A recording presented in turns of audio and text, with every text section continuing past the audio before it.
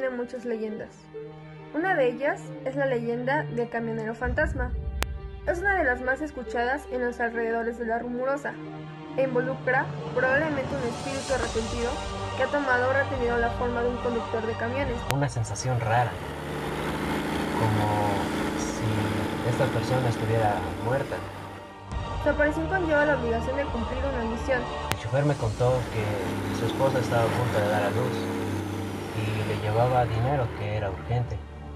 La que de aceptarse debe ser llevada a cabo sin demora, pues las consecuencias de la desobediencia y que varios choferes también habían muerto en esa carretera. pueden ser terribles a quien se le encomienda.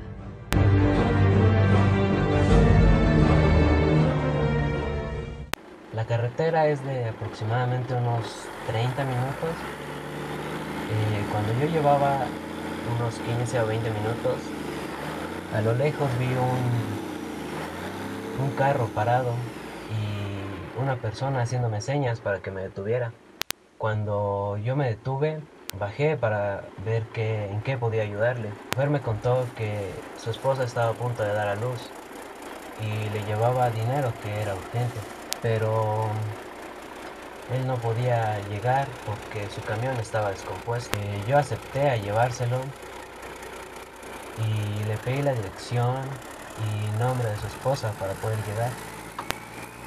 Al despedirme de él y al darnos la mano, pude notar una sensación rara, como si esta persona estuviera muerta, ya que el frío de sus manos no era normal.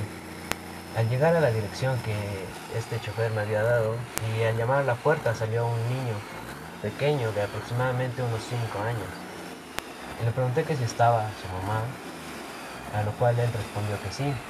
Cuando salió la mamá, le dije que me había encontrado a su esposo en el camino, pero su camión se había descompuesto y por esa razón no podía llegar a casa. Le entregué el sobre con dinero y ella empezó a llorar. Yo pregunté por qué, por qué estaba llorando, a lo cual ella respondió que su esposo había fallecido hace cinco años en la carretera en un accidente y que desde hace cinco años le había estado llegando dinero. Al escuchar esto yo me quedé un tanto asustado y solo me despedí de ella y regresé a mi camión.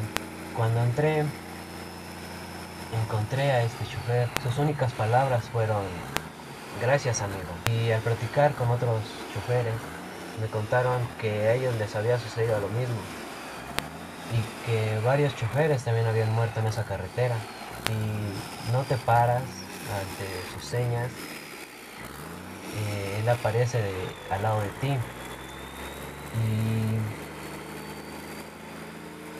pues al no saber qué hacer tal vez pierdas el control de tu camión y mueras también